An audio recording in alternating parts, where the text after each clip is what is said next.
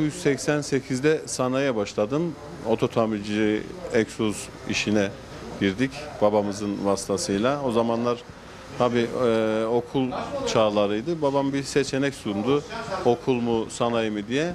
E, biz de o zaman sanayi tercih ettik. Sanayide e, işe başladık. 1988'den 92-93'lere kadar çıraklık dönemlerimiz oldu. 92'de falan da artık e, bir gün bir yere gitmiştim. Bir, e, bir- Elazığ'da güzel bir park vardı. Oraya gitmiştim. Orada e, gençler ork çalıyordu. Ben de onların yanına gittiğimde orku böyle ilk gördüğümde beni çok cezbetmişti. Hani o sesleri falan çok cezbetmişti. Ee, orada bir aşina oldum, bir aşık oldum Ork'a. Ee, ondan sonracıma daha sonra da bir düğün salonunda gördüm. Hatta gittim dedim bir dokunabilir miyim falan. Oradaki o seslere dokununca beni büyüledi.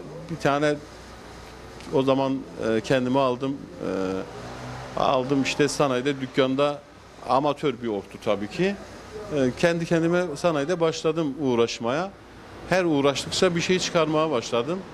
Daha sonra işte orku daha geliştirmeye başladım. Başka bir ork daha.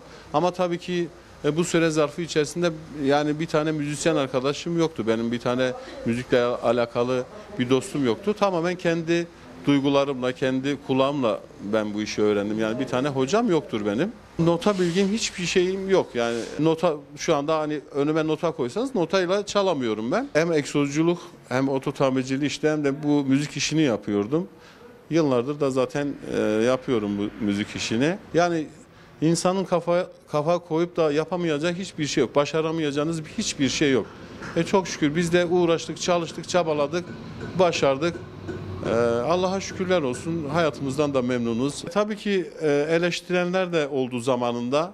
E, tabii eleştirilen e, arkadaşlarımızdan sonra da işte bizi yücelten arkadaşlarımız da oldu sağ olsunlar. Hani sanayinin fazla sayı falan da diyenler oldu. E tabii biz e, şey o, o kadar kendimizi şey yapmıyoruz yani e, neysek oyuz yani biz fazla sayın tabii ki e, hiç bir zaman yani yandan geçemeyiz. E, ama Allah'a şükürler olsun biz de kendimize göre sanatımızı icra ediyoruz. 83'ten beri de el sanayisinde esnafım yani. Gayet güzel. Mehmet Bey de zaten seven, değerli bir arkadaşımızdır. Kendisi de esnaftı. Ee, ork şeyi sektörüne daha sonra başladı. Şu anki e, yeni şeyinde başarılar dilerim. Sanayide, düğünlerde yani kendimiz de görüyoruz bunu. Yani şöyle söyleyeyim, güzel, beğeniyoruz yani.